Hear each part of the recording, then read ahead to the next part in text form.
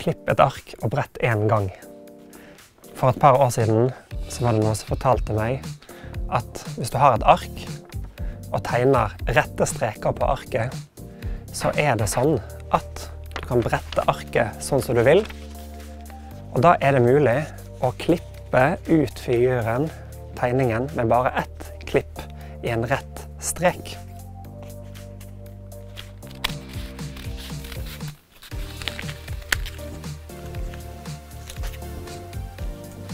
Sammen med denne videoen så ligger det eh, massevis av instruksjoner til ulike bokstaver i alfabetet, sånn som denne A-en her.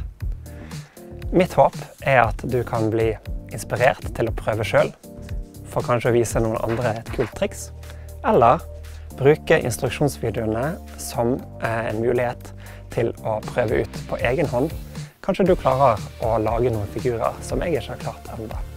Masse lykke til.